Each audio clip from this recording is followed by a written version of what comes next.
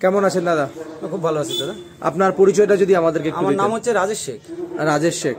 আচ্ছা আপনার প্রপার অ্যাড্রেসটা যদি একটু আমাদের আমার অ্যাড্রেস হচ্ছে এটা হচ্ছে আঙারদ পোস্ট পিপুলবাড়িয়া আপনার পিছনে দেখতে পাচ্ছি একটা ইনকিউবেটর রয়েছে।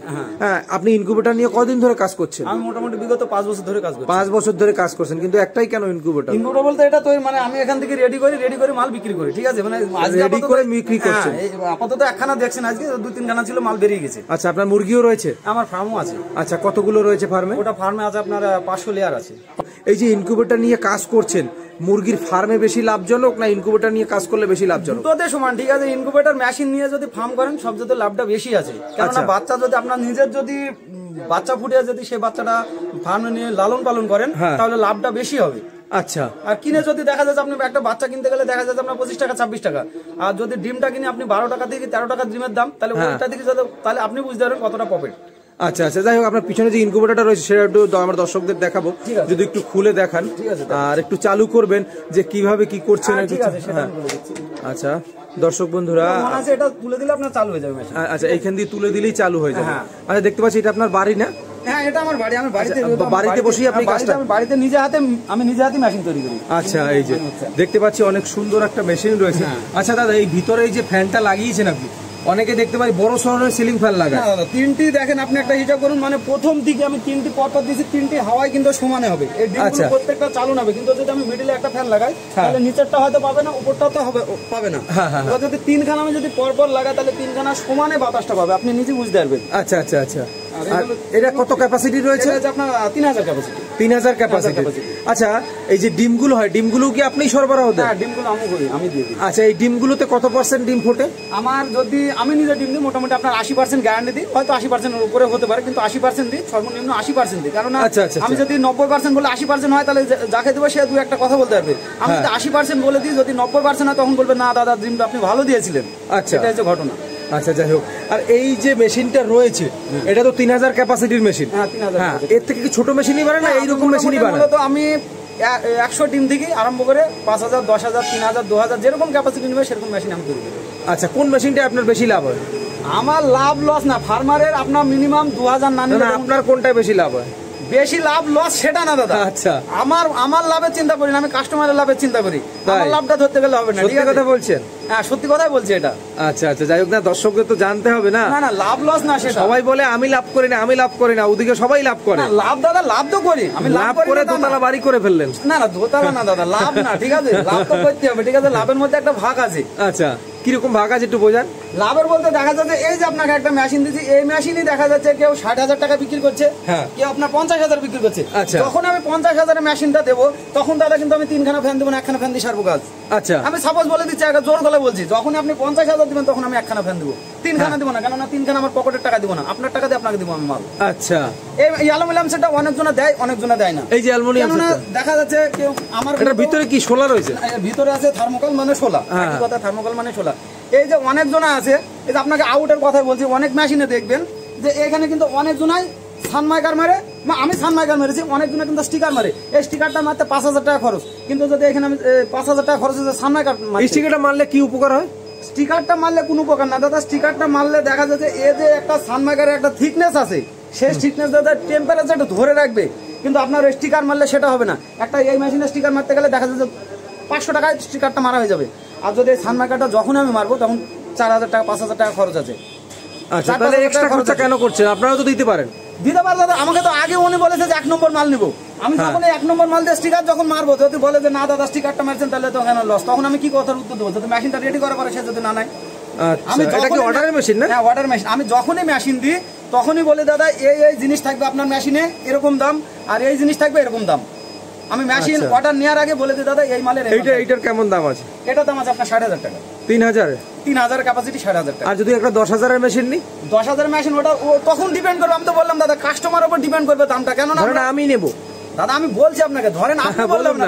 কোনো কাস্টমার একটা আসলো হ্যাঁ। আসার পরে সে বলল দাদা আপনি কত দাম বললেন আমি সাপোজ এই মেশিনটার কথা বললাম ষাট হাজার টাকা হ্যাঁ। হয়তো আমার মতো অনেকজন আছে কাস্টমার। মানে ইয়ে আছে ব্যবসায়িক আছে সে বলল পঞ্চাশ হাজার কথা তো শুনবেন তখনই তো দাদা আপনি হলে বলেন আমার কাছে নেবেন না তার কাছে নেবেন আপনি বলেন মেশিনটা কার কাছে যেহেতু কেউ পঞ্চাশ হাজার বলে আর আমি যদি ষাট হাজার বলে সে পঞ্চাশ হাজার যদি ভেজাল দেন আপনি দাদা পঞ্চাশ হাজার ভেজাল তো আপনি নিজে চোখে দেখতে পাবেন আপনাকে যখন আচ্ছা। মেশিনটা আমি দেবো তখন তো আপনার বলছি দাদা আপনি তিন হাজার মেশিন অর্ডার করছেন একটা মেশিন ষাট হাজার একটা পঞ্চাশ হাজার। তখন তো আপনি জিজ্ঞেস করবেন দাদা পঞ্চাশ হাজার কি ফেসিলিটি ষাট হাজার কি ফেসিলিটি আচ্ছা। এটা জিজ্ঞেস করবেন কিনা আচ্ছা এই যে ভিতরে যে কাঠগুলো দিয়েছেন হ্যাঁ। এগুলো কি প্লাস্টিক দেওয়া যায় না? প্লাস্টিক বলতে প্লাই প্লাই না না এগুলো প্লাই হয় না দাদা। এগুলো এই কাঠগুলোই ভালো। কাঠগুলোই ভালো। প্লাই তো থাকে এটা দাদা। প্লাই থাকে এটা। প্লাই থাকে এটা হ্যাঁ প্লাই থাকে এটা। আচ্ছা। আর এখানে যদি কারেন্ট চলে যায়?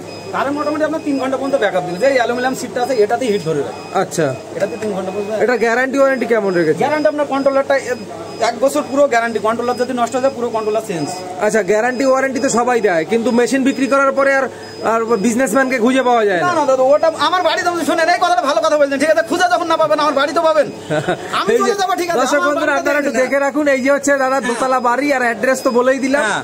মেশিন আমি হারিয়ে গেলে আমার বাড়ি যাবে না। শুনেন আমি দেখা যাচ্ছে কোনো গোডাউন নিলাম। আমি সাপোজ কথা বলছি কোনো জায়গায় ঘর করে ঘর করে ঘর নিলাম। আমি এটা কিন্তু দাদা নেটওয়ার্ক বিজনেস হ্যাঁ। আমার মোবাইলটা বন্ধ করে দিলাম আমি কিন্তু খুঁজে পাবে না। হ্যাঁ। কিন্তু আমার বাড়ি যখন আইবে সে বাড়ি থেকে তো বাড়িতে আমাকে পালাতে হলে বাড়ি ভেঙে চলে যেতে হবে। কিন্তু এত বড় বাড়িতে ভেঙে পালাতে পারব না। আপনি বলুন তাহলে দর্শক মানে কার ফ্যাসিলিটি বেশি? আমি আমার এটা হচ্ছে মেন ফ্যাসিলিটি পাবে সে। আচ্ছা। এই জন্য দর্শক বন্ধুরা আপনারা বিশ্বাস করতে পারেন আচ্ছা দাদা এই যে ফ্যান ট্যান যদি কেটে ফেটে যায় এগুলো? দাদা এটা এক বছর ওয়ারেন্টি থাকে কিন্তু আমাদের এখানে নিয়ে হবে তার জন্য নষ্ট ওয়ারেন্টি বলতে কোম্পানি ওটা আমি কোম্পানিকে চিনি না আমি চিনি আপনাকে। আপনাকে চিনেন তাহলে প্যান্টটা আমার কাছে নিয়ে আসতে হবে। হ্যাঁ, হ্যাঁ। প্যান্টটা না সারলে তো আমি দিতে পারছি না। আচ্ছা। এইটার গ্যারান্টি আমার কাছে সকল সময় অ্যাভেলেবল থাকে। যদি নষ্ট হয়ে যায় এক বছরের মধ্যে রিপ্লাই মানে নতুন পাবে। কোনো পুরাতন না নতুন কন্ট্রোলার নতুন controller দিয়ে দেবে। নতুন কন্ট্রোলার যায় লাগে আচ্ছা একটা কথা বলুন তো এই যে মেশিন রয়েছে আপনার পিছনে হ্যাঁ? এই এক একটা মেশিন মানে এই মেশিন আপনার যদি চালান আপনি তো অনেকদিন ধরে করছেন। হ্যাঁ, হ্যাঁ। সেক্ষেত্রে কত বছরে দেখা যায় নষ্ট টষ্ট হয় না? নষ্ট হয় না কেননা হিটে এই জিনিস নষ্ট হয় না। আচ্ছা। নষ্ট হয় যদি জল টল ঠেকলো তার জন্য নষ্ট হয়। এ পাঁচ বছর দশ বছর কিছু হবে না। কেননা আমি বলছি শুনেন আপনাকে যদি পাঁচ বছর দশ বছর বলি আগে বলবেন। দাদা মনে হয় ভুংভাং কথা বলছে। কেননা আমি নিজে পাঁচ বছর ধরে করছি আজ পর্যন্ত বডি কোনো নষ্ট হয়নি। আমার লাইফে হয়নি। আরে মেশিন মেশিন এ মেশিনও নষ্ট হয় না। খুবই মানে ইনকেস দেখা যাচ্ছে কোনো ঝড় বৃষ্টি বাস পড়ল তার জন্য পুড়ে তাছাড়া নষ্ট হয় না। আচ্ছা আচ্ছা আচ্ছা। যাই হোক, দর্শক বন্ধুরা, আপনারা তারপর আপনাদেরকে বলব, আপনারা যারাই মেশিন কিনবেন না কেন, একটু ভেবে চিনতে, দেখে শুনে তারপরে কিনবেন। দাদা কিন্তু অনেক সলিড সলিড কথা বলেছে, অনেক ভালো কথা বলেছে, অনেক কিছু বের করাতে পেরেছি দাদার মুখ থেকে। যাই হোক, দাদা ভালো থাকবেন তাহলে। আর আমি চাইব কোনো ফার্মার যদি আসে বা কোনো ফার্মার ভাই বা নতুন কোনো বেকার যুবক যদি আসে মেশিন কিনতে চায় সেক্ষেত্রে সে যেন না ঠকে। এই বদনামটা কিন্তু অনেকেরই রয়েছে এই মার্কেটে ঠিক আছে দাদা সে ঠিক আছে ভালো মন্দ সবাই কিন্তু ব্যবসা করে দাদা। হ্যাঁ, হ্যাঁ, হ্যাঁ। একটা দেখবেন আপনার এলাকায় দশটার মধ্যে দুটো খারাপ আছে আটটা কিন্তু ভালো আছে। হ্যাঁ। এই আটটা ভালো আছে কিন্তু দুটোর জন্য কিন্তু দশটা লোকই খারাপ। হ্যাঁ হ্যাঁ। আমি এটাই বলব দর্শকদের আপনি মেশিন নেন। আমার কাছে বলে আমি ভালো সেটা বলছেন আমার সম্বন্ধে যাচাই করুন তারপরে মেশিন নেন আমার কাছে নিতে হবে না। আপনি দেখ আপনাকে নিজে বাঁচতে হবে কোন মানুষটা ভালো কোন মানুষটা খারাপ। এবার আমার খালি মেশিন না কেউ যদি মনে করে যে ফার্ম করব মেশিন না কেউ যদি মনে করে যে বাচ্চা নিব বাচ্চা নিয়ে এ টু জেড ফার্ম প্রথম জিরো অবস্থা থেকে তিন মাস বা চার মাস যতদিন করবে লালন পালন কীভাবে করতে হয় এ টু জেড আমি বলে দেবো। আমার কাছে সবই পাওয়া যায় খালি ইনকুবেটার না ডিম মেশিন মেশিনে পার্স এ টু জেড পাওয়া যায় এই লাইনে যেগুলো পাওয়া যায় আচ্ছা সমস্ত আচ্ছা। কিছু। আচ্ছা আচ্ছা আচ্ছা। যাই হোক দাদা ভালো থাকবেন তাহলে। আর আমি চাইব আপনি একটু সৎভাবে ব্যবসাটা করুন। কারণ আমি এটা ওইটা বলছি না আমি আপনাকে বলছি না আমি মার্কেট পরিস্থিতি বলছি। হ্যাঁ, হ্যাঁ, মার্কেট পরিস্থিতি ঠিক বলেছেন। মার্কেট পরিস্থিতি সবাই যারা সবকিছু সবাই সবকিছু জানেন হ্যাঁ কারণ এই নিয়ে তো অনেক কিছু হচ্ছে কারণ বেকার যুবকরা অনেকেই আসে ফার্ম বন্ধ করে দিচ্ছে। হ্যাঁ, হ্যাঁ। পারছে না চালাতে। যাই হোক দাদা কথা বলে ভালো লাগল ভালো থাকবেন তাহলে। ধন্যবাদ। আমাদের প্রতিবেদনটি যদি আপনাদের ভালো লেগে থাকে তাহলে প্লিজ চ্যানেলটি সাবস্ক্রাইব করে পাশে থাকবেন।